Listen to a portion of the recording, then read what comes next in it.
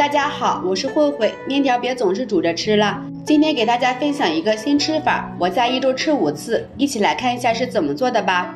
首先准备一个包菜，用擀面杖敲一敲，这样包菜的组织会松散一些。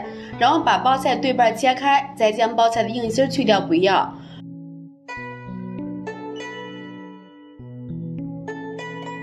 然后改刀把包菜切成条，这里不需要切得太细，那样口感会不好。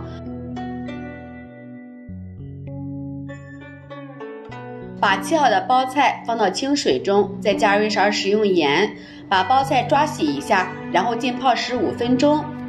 再准备一个洗干净的西红柿，从中间切开，切掉根蒂不要。再把西红柿改刀切成小块儿。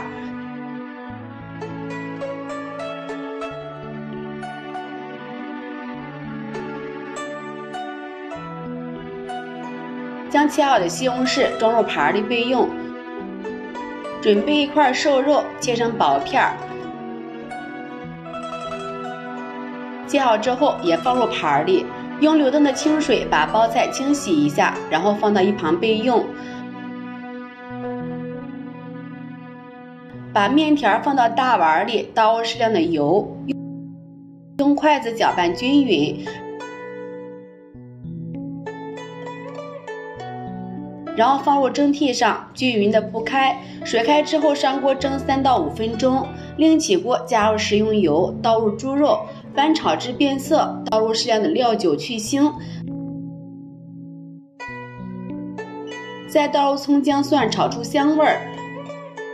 炒香之后，倒入切好的西红柿，翻拌均匀。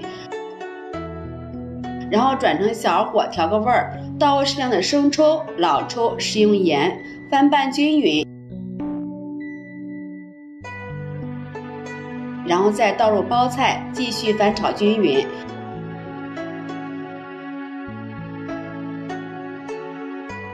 这会儿的面条也蒸好了，用筷子给它抖散，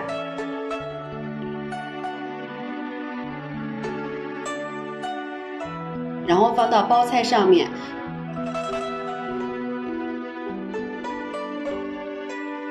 盖上盖子，开小火焖五分钟左右。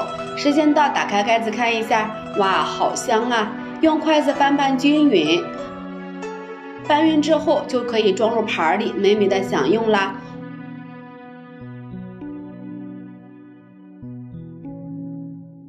哇，这也太香了吧，口水都要流出来了。这样做的焖面咸香入味儿，特别的好吃。每天不知道吃什么的时候，可以试试这道包菜焖面，保证不会让您失望。做法呢也是非常简单，厨房小白也能轻松搞定。喜欢的朋友记得点赞收藏。